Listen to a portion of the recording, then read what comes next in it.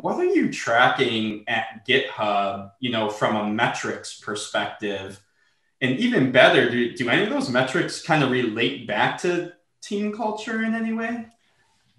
I mean, I'll just say this there's not one re- metric to rule them all. We've heard it over and over. Like, yeah. I think somewhere somebody was pitched this like idea that they're going to be able to find this golden number that's going to tell you and unlock the secrets of productivity and performance. It just doesn't exist, right? Because people are humans.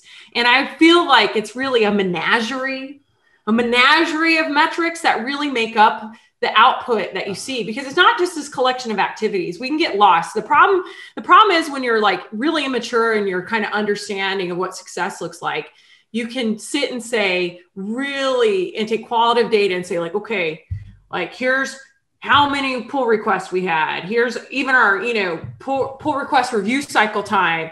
And here's you know how many uh, actual changes happen that means we're hitting the, the the mark you just can't do that. Not that I'm to say people are to. I keep talking about games. I guess I need to play video games today. Uh, game gamify the system, but really, what it is, it's like, are you being honest with the measurement of what success looks like? Like, have you really given it critical thinking? And so, when I think about metrics and, and what we think about at GitHub is like we do the standard one. Like, I get the honor and privilege to work with Dr. Nicole Forsgren. So like I'm very like all up in her, like, Nicole, what does your research say about this? And then my peer, Rachel Potvin, like she led developer research at Google for like, I don't know, like a decade. And so, like, these two amazingly smart humans that have done, you know, almost their entire career thinking about what drives productivity, you know, it really is that menagerie, that collection. And so we use, you know, quantifiable and quantifiable data sets. Like, I think you have to add like the things that you know and hold are true. Like, we know, right?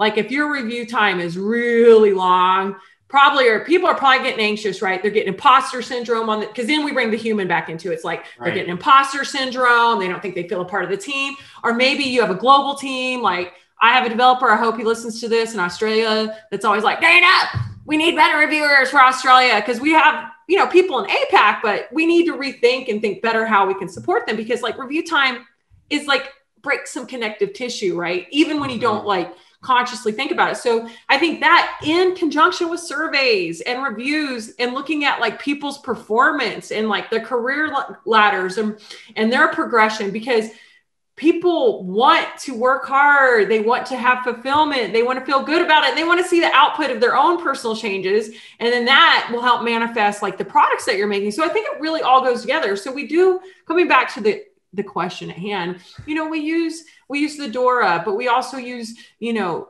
CSAT, PSAT, internal customer satisfaction. We all do surveys, but then you look at different data sets that you may not realize because engagement is just a really hard thing to measure.